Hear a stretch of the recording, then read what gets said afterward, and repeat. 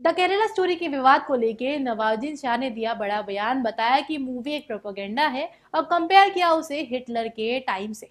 नमस्कार, आप देख रहे हैं इंडिया न्यूज़ का डिजिटल प्लेटफॉर्म और मैं हूँ आपके साथ प्रिया। केरला स्टोरी कुछ जगहों पे हिट भी हुई है, कुछ जगहों पे बैन भी हुई है। द केरला स्टोरी के बारे में जितनी बातें की जाए, उतनी कम है। इसी बीच में जो है, मूवी को लेके कई सारी बातें सामने आ रही हैं, खासकर तब जब साथी वाले कैरेक्टर्स यानी कि जो सेम फ़ील्ड के कैरेक्टर्स हैं, वो ही इस मूवी को अगर बाइकआउट करते हुए नज़र आते हैं। आपको पहले इससे पहले मूवीज़ के बारे में कई सारे लोगों ने मूवी को प्रोपेंडा कहा है और इसी बीच में जो है, नवाजुद्दीन शाह ने अपना ओपिनियन दिया है इस मूवी को लेके। एक इंटरव्यू के दौरान, एक मतलब प्रेस की बातचीत के दौरान जो है उन्होंने बताया कि मूवी कहीं ना कहीं एक प्रोपोगेंडा साबित होती नज़र आ रही है।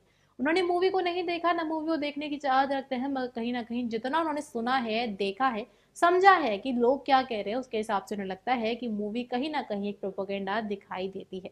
ना असली ज़िंदगी में ऐसा कुछ कभी हुआ था, ना ऐसा कभी होने वाला है, ये सिर्फ़ पर्दे पे दिखाने वाली कुछ चीज़ें हैं, जो कि मूवी ने जो है पब्लिसिटी के तौर पे दिखाने की कोशिश करी है। और असल ज़िंदगी से इसका कोई भी ताल्लुकात नहीं है। इसके अलावा उन्होंने जो है मूवी को हिटलर के टाइम से भी कंपेयर किया। उन्होंने बोला कि कहीं ना कहीं जो मूवी है वो हिटलर के टाइम से कंपेयर होती हुई नज़र आ रही है। जिस तरीके से हिटलर के टाइम पे लोगों के बीच में एक दहशत फैल गई थी चीज़ों को लेके वैसे ही जो है अब के टाइम पे लोग ऐसी दहशत फैलाने की कोशिश कर रहे हैं। अब इस ज, उनके इस जवाब को लेके जो है कई सारी बातें सोशल मीडिया पे की जा रही हैं।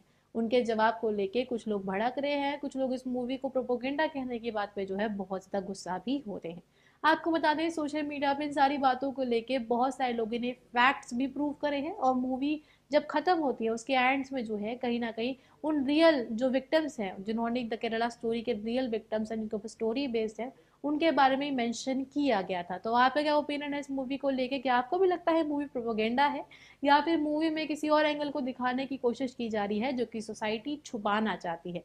आपका क्या ओपिनियन है? कमेंट बॉक्स में लिख के ज़रूर बताएँ। अपने ओपिनियन को ज़रूर शेयर करें। धन्यवाद।